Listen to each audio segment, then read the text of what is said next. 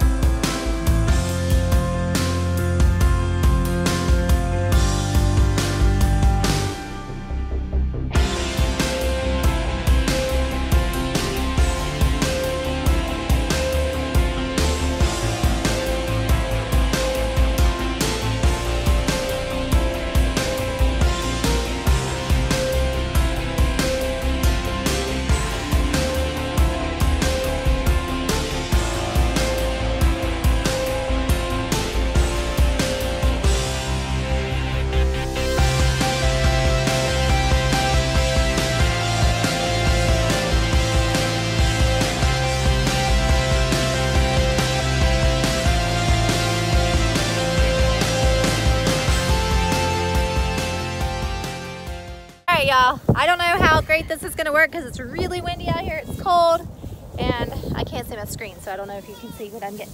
But the little lammies are gonna be going home today. Their, their owner, their mama's coming to get them.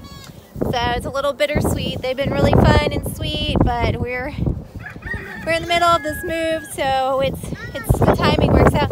Yep, there's Jacob with his patch. Are you loving on your lammies? The goaties. They're over there because they can jump this fence and then they get loose and run like everywhere. Love, looks like they're loving on me. They're loving on you. Hi, goaties. Hi, goaties. So anyway, there, there's, there's Jerry. All right, we're we're here doing some stuff around the farm. Derek's or this farm. Derek's at our farm that we're moving to. Um, and he and Jack and the boys are working on the pole barn. So, oh no, don't jump the fence with them. I don't want them to jump the fence.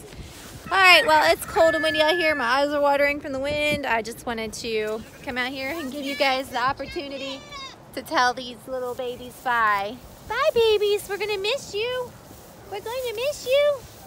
But yeah, you know how we when we first got them, their eyes were kind of got gray, and we thought they were blind or partially blind, but they seem to be great. They don't seem to be blind at all. So we'll miss Opal, Susie, and Lydia Lamb, but it's all part of how this goes. So we we were, if you don't know and you're new, we were fostering these. This the, the friend that we got the goat babies from um, had these lambs and they were abandoned by their mamas or rejected, and we were already bottle feeding the babies. And so she asked if the girls would mind um, bottle raising these for her. So since we were already doing it, we were like, not at all.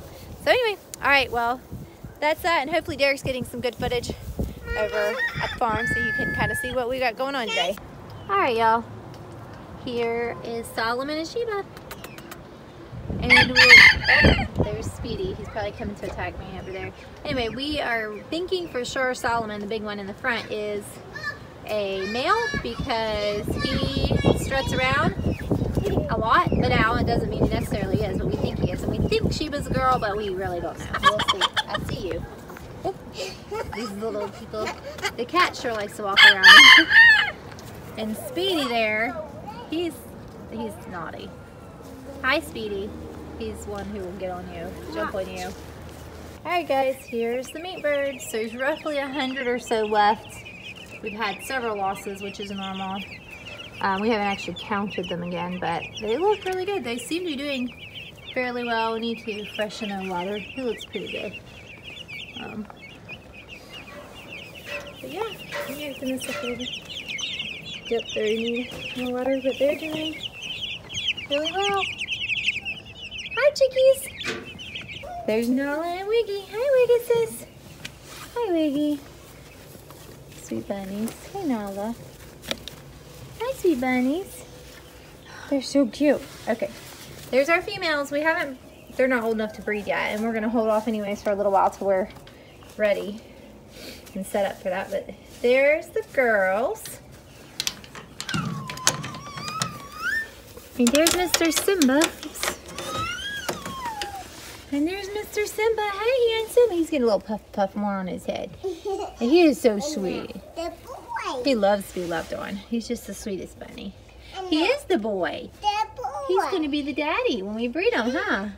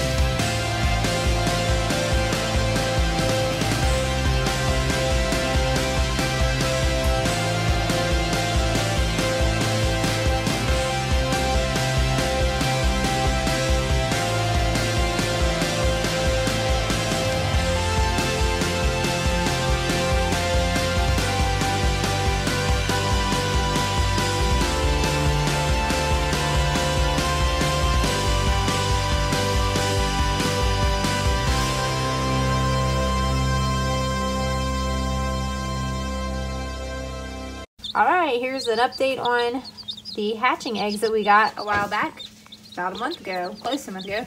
We have four duckies, and we have a couple of silkies, I think. I'm not sure. All right. And then, or silky mixes. And then there's a little quail down there.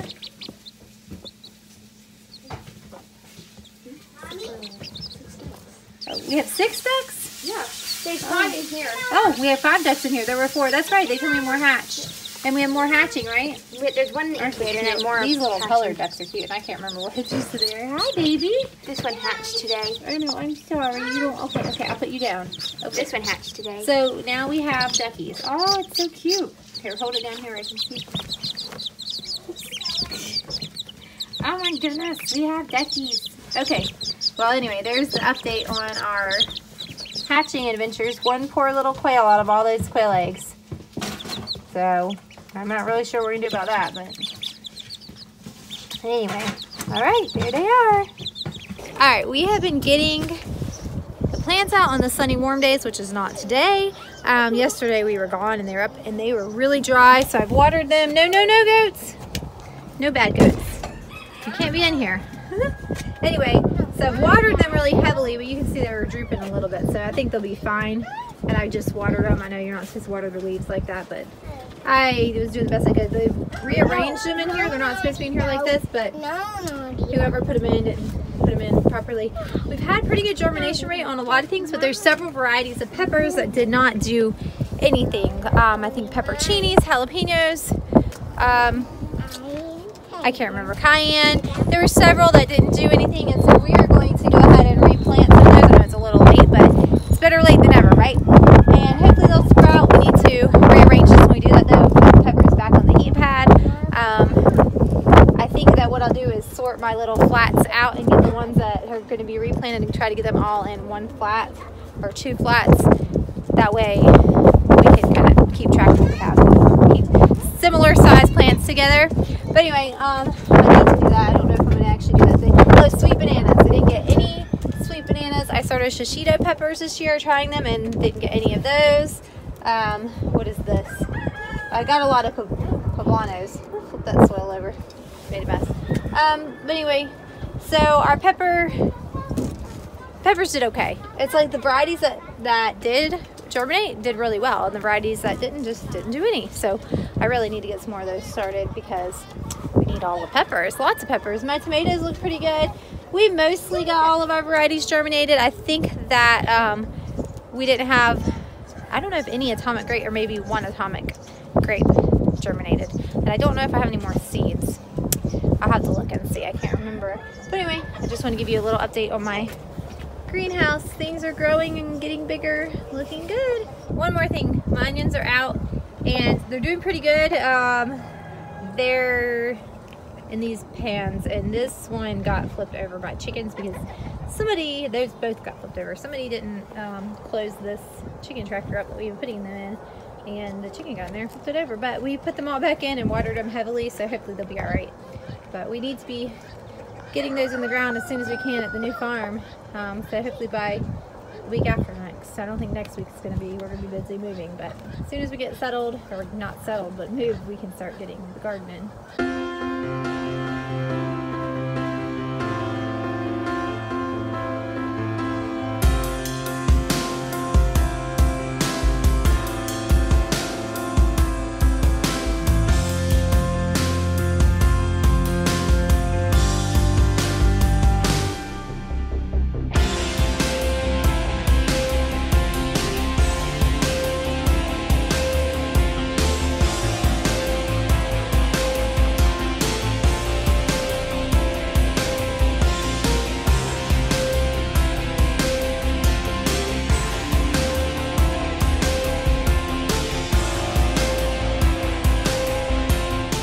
All right, y'all.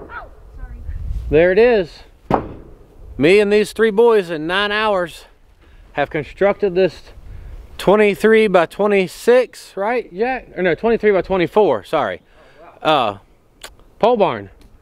Half of it's enclosed. I did leave the front open on it for right now, mainly because I don't have a door yet.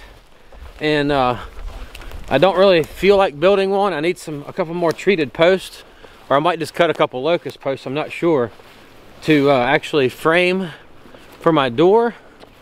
But y'all check this out. This is 12 by 12. This is 12 by 12. All enclosed. I've got to get my corner trim. You can see some daylight over here in this corner, but that's normal. I've just got to get my corner trim and uh, it'll be sealed up nicely. But I do, I need to frame a door here. I'm just not sure exactly what, how, what, when, or anything like that at the moment. But let me get y'all away from my face. Uh, this is awesome. For nine hours, I'm pretty happy with this. So now we're gonna clean up and uh, maybe go work on the camper a little bit, make it a little more stable. We'll see. All right, so we're back together again, obviously. are. Yay! And Derek, ooh, Sorry. went around a curve there. Yeah. Derek did video on his end, so that's good. I'm glad I haven't seen the footage yet, but I'm assuming it's good footage. Um, and as you can hear us, you can see that we have figured out the the audio issue. We found, or Jack found an auxiliary cord, which is what we needed, or auxiliary plug, I don't know, cable, Yes. whatever. Um, but this one's like super long. The one for the camera, made for the camera, is short. It has a curly little Coil. cord coiled so that it's not. So this one's really long, but the one with the coil, woo! Rough spot in the road. I know the road's really rough through here. They need to do something about that. Where are my tax dollars going? No, I'm just kidding. Anyway, uh, sorry I had to say that. Um, so anyway, we, it will be here tomorrow. The coiled cord, that's the correct, the correct coiled cord. Say that three times fast. That is a lot of talking about this auxiliary cable that they can't even see, babe. All right, anyway, it's coming tomorrow. and y'all don't care because you can hear us anyway, so it doesn't really matter. All right, well, anyway, we are headed to pick up some groceries. It is almost 8 o'clock. It's kind of late, but Derek and Jack have been working, and the boys, little boys have been working all day. Obviously, you saw they're working over the farm. It wasn't all day. We didn't get there until like Well. 12:30 or something. But yeah, well, we had a lot to do this morning. I've been- I've still been working. Did you tell them what we scored this morning? no, We got canning lids, guys.